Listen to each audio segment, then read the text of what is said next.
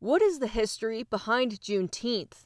Juneteenth became a federal holiday in June 2021. There's been this ongoing campaign to make Juneteenth a federal holiday for decades. There are, have been many bills, think about 2021 bills that were introduced to make Juneteenth a national holiday beginning in 1994. So, why is the holiday honored? June 19th, 1865, when General tr- or Union troops came into Galveston, Texas, and announced that slaves were free. And so this was two and a half years after the Emancipation Proclamation. History professor Brenna Greer said a lot of slaveholders took their slaves to Texas to try to outrun the end of slavery and Union troops. One of the things that people often ask me is how to celebrate Juneteenth.